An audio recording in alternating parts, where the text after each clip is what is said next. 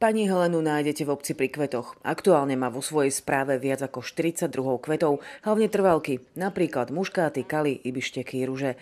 Všetky si vypestovala sama, zo semien či odrezkov. Cez zimu mladé odrezky zakoreňuje, či seje vyzbierané semená z letničiek.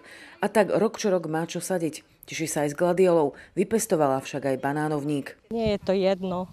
Aj polné sú pekné, aj begonie máme tam Starý bicykel, vyhodená prútená dekorácia či zvyšná paleta od stavebného materiálu.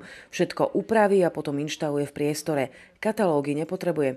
Najčastejšie sa radí so svojou šéfkou. Taký nápad dostanem a tým pádom jedno s druhým. Jedno priložím a druhé už treba priložiť a tak. Helenka naša je prirodzený talent. Ona je strašne úsilová. Ona príde do práce a hneď motiku a ide pracovať. Záhradnička najprv bola nezamestnaná, robila len na aktivačných prácach.